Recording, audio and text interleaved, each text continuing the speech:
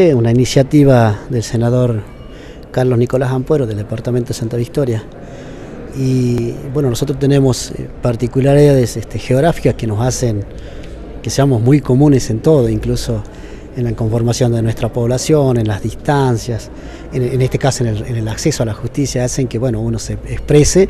con mucho beneplácito el aprobar un proyecto de ley que tiende a acercar a la gente de, Nazareno, de los Toldos, de Victoria, a un más real acceso a la justicia.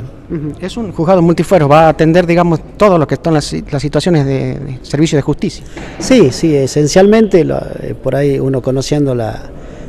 nuestro territorio, pues, en lo civil seguramente, en lo comercial quizás un poco menos, pero violencia de género, ¿por qué no? Entonces, sí, multifuero que atienda toda la eh, las, demandas de, nuestra sociedad allá. Así que un paso importante, ahora esperemos que diputados eh, actúe con celeridad y, este, garantice esto, lo que venimos pregonando y, eh,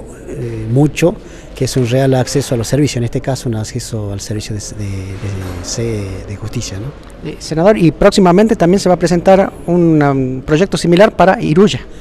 Bueno, esto es este, a través de unas charlas que mantuvimos con, algunos eh, ministros de la Corte,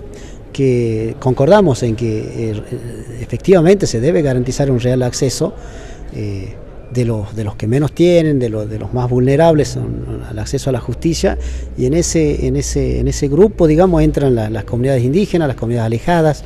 en este caso la barrera del acceso a la justicia en lo económico, en la distancia, en, la comunicación. Bueno, eso este, en ese, en ese, como quien dice, agarramos el guante acá en la Cámara de Senadores y bueno, estamos propiciando esto. Sí, seguramente vamos a pedir la creación en Iruya, lo que va a garantizar también que este, mucha de nuestra gente no haga lo mismo que en otros lugares, renuncie por ahí a una, justicia de calidad por el solo hecho de, tener esta barrera de la distancia, de lo económico, de la comunicación eh, y de muchas otras cuestiones que hacen que, no tengan ese, ese tan bendito pregonado este real acceso a la justicia.